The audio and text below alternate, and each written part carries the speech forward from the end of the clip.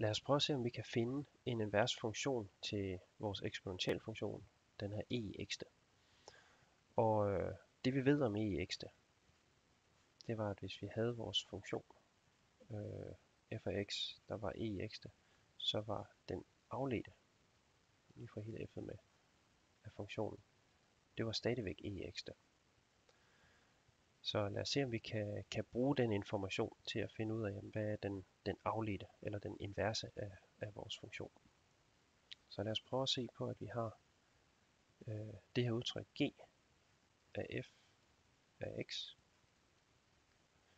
der så skal være lige med x, fordi g skal, er den funktion, vi leder efter, der er den inverse til funktionen f.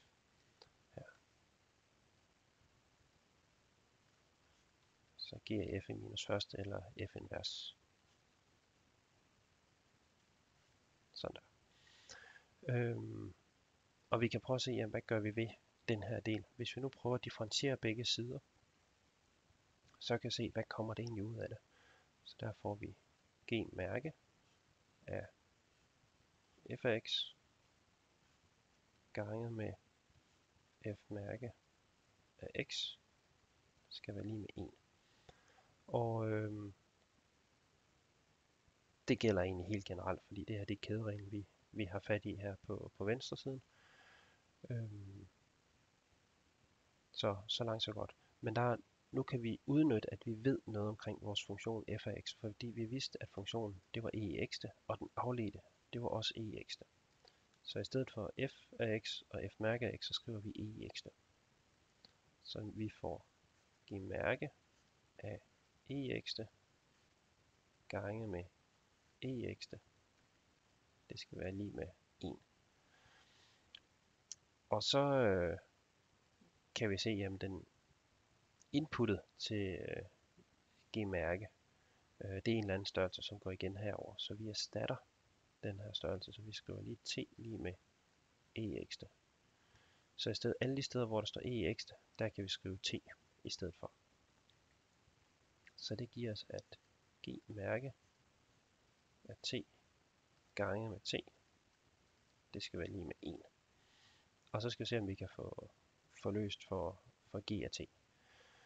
Øhm, så vi kan tage tid her og flytte over på den anden side, så får vi at g mærke af t er lige med 1 delt med t. Og øh, skal vi af med den her afledte, eller g-mærke, så kan vi integrere på begge sider. Og det giver os, at øh, g af t skal være lige med et eller andet integrale af en del med t. Øh, du, du, du, med hensyn til dt, det t, så skal vi sikkert også lige have sat en øh, øvre grænse ind. Så jeg ændrer lige lidt i det her. Og så har den øvre grænse, der er t. Og den nedre grænse, hvad hun var, den skulle sættes til. Den skulle sættes til 1, hvis jeg husker ret. Jo, og det skal den, fordi hvis vi havde vores funktion f af x eller e i x og sætter 0 ind, så får vi 1 ud. Så hvis vi sender 1 ind, til g af t, så skal jeg få 0 ud. Og hvis vi integrerer over et interval på 0, altså fra 1 til 1, så må, må det her give 0. Så det vi når frem til herop, gt er lige med, med det her integral, det er faktisk definitionen på det vi kalder den naturlige logaritme.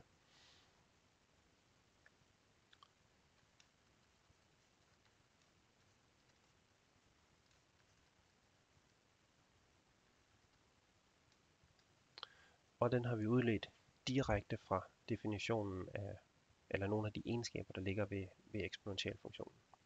Det synes jeg er en fin måde at vise, hvordan tingene hænger sammen på. Og det giver os også en mulighed for rent faktisk at beregne de her logaritmer, i stedet for bare at slå dem op i, i en tabel. Så det var lige sådan en, en hurtig sammenhæng mellem eksponentialfunktionen og den naturlige logaritme.